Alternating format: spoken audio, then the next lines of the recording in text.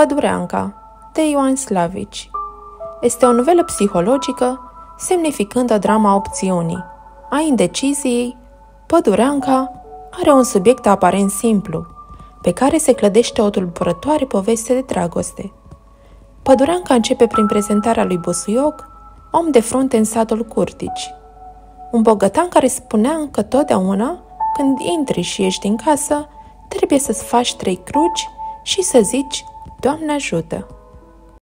Se dă o lege în toată țara ca nimeni să nu-și părăsească satul, deoarece era holeră. Fiind vremea secerișului și pentru că avea nevoie de mână de lucru, Bosuioc nu ține cont de acest lucru și se hotărăște să plece să adune lucrători pentru seceriș, încredințându-i la cererea acestuia sarcina fiului său mai mare, de 20 de ani, pe nume Iorgovan. Băiatul era îndrăgostit de o fată pe nume Simina, care și în urmă cu un an a stat la ei acasă vreme de trei luni, pe durata secerișului. Astfel, Iorgovan ia postura de personaj de bază care își caută iubita la mari depărtări, pornind într-o lungă expediție, străbătând sate și locuri îndepărtate, întâlnind oameni noi, totuși cu teama de a nu fi descoperit, ezitând, indecis, sursa dramei care îl macină până la sfârșit. Plecă la Moma, fiind indecis să vrea să o prevadă pe Simina. Dar, ajungând la Zimbru, o cheamă la seceriș împreună cu tatăl ei, pe nume Neacșu, și cu oamenii de care avea nevoie, adunați împreună cu slujitorul șofron, argat de nădejde al tatălui său. În vârstă de 30 de ani, mai simplu sufletește, dar mai hotărât în manifestarea sentimentelor. Busuioc era mare bogătaș, deținător a 40 de jugăre de pământ, ara cu patru, care 10 zile la rând, și avea o moară de vânt pe care mai apoi o înlocuiește cu ceva mai performant. De moară se ocupa Pupăză, care a crescut acolo de mic, se îngrija de ea, chiar dacă nu era bine plătit de busuioc.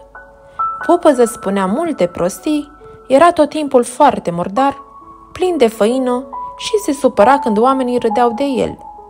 Busuioc l-a pus pe fiul său mai mic, pe nume Filip, să scrie o scrisoare adresată cumnatului acestuia, preotul Furtună din satul Socoda, pentru a se alătura și el secerișului. Șofron reușise să strângă o mică avere de când lucra la Bosuioc, două jugăre de teren și avea vârsta potrivnică în surătorii, doar că îi lipsea nevasta potrivită. În momentul în care o vede pe Simina, acesta se îndrăgostește de dânsa și devine astfel rivalul tânărului Iorgovan. Deși o iubea pe Simina, Iorgovan nu are curaj să-și mărturisească sentimentele, fiind un personaj complexat, cu reacții greu de înțeles. Când o caută pe Simina în satul ei de munte, el este aproape travestit, pentru că ca nimeni să nu-l recunoască. Apoi, cu o inexplicabilă teamă de gura lumii și chiar de tatăl său, Busuioc, că ea o fată săracă, amână împlinirea dragostei până când Simina se orientează către șofron. Tatăl fetei, Neacșu, venit și el la seceriș, moare de holeră, fiind înmormântat de către părintele Furtună și, în acel moment, Bosuioc își obligă fiul să o ceară de nevastă pe Simina, parcă pentru a echilibra soarta negativă, dar aceasta ezită, la rândul ei, să-și dea consimțământul, având o relație stranie cu șofron, argatului Busuioc, care o iubea de multă vreme.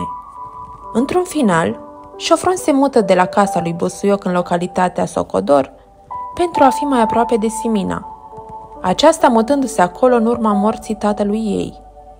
Nemai putând suporta despărțirea de Simina, Iorgovan, fire indecisă, incapabil să suporte avatarurile complicate ale dragostei, cade în patima beției și, inspirat de moartea lui Pupoză la moară, încearcă să se sinucidă.